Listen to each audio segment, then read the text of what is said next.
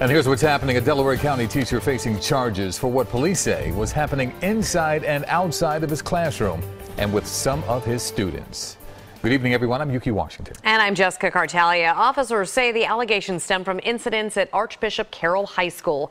Eyewitness News reporter Joe Holden is live in Radnor tonight, laying out the charges and the suspect's other ties in our area. Joe?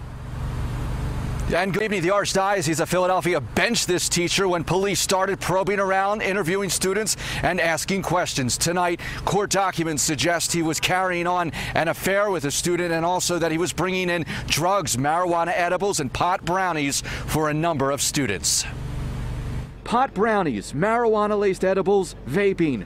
Radnor Township Police allege it was all happening inside Jeremy Triplett's classroom at Archbishop John Carroll High School with some of his students.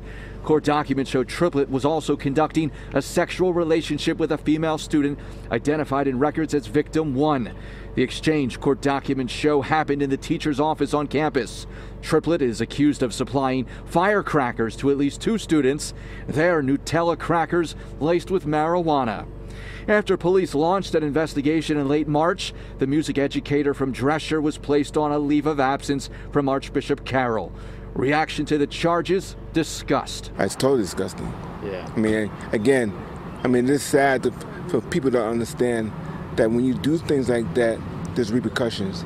And so I just can't understand being a parent of seeing something like that and hearing something like that as well. Triplett is also affiliated with nearby St. Catherine of Siena Parish in Wayne as its music director. He's on leave from that role, the Archdiocese confirms. Rounding out his resume, Triplett is listed as director of the Villanova Singers.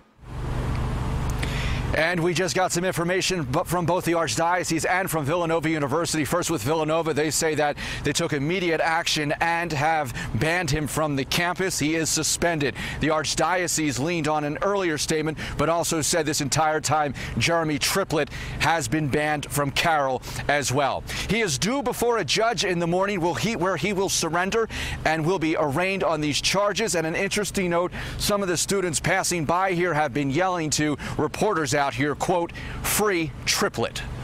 We're live in Radnor Township. Joe Holden, CBS 3 Eyewitness News. Joe, thank you.